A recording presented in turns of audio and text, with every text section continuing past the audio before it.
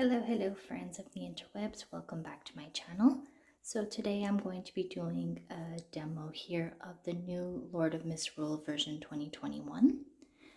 So if you may remember, in years past, it used to be green with a little crown on the top, but this year they changed its whole appearance. So let's see how it performs in the water.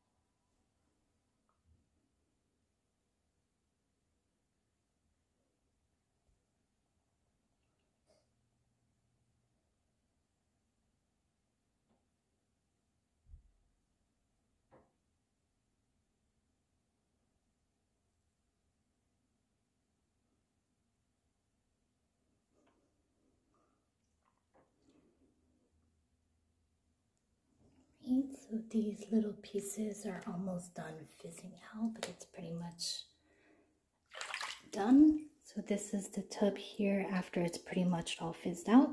It's not the same wine color but it used to be, but still still smells the same and it's still great. So thank you so much for watching and have a nice day.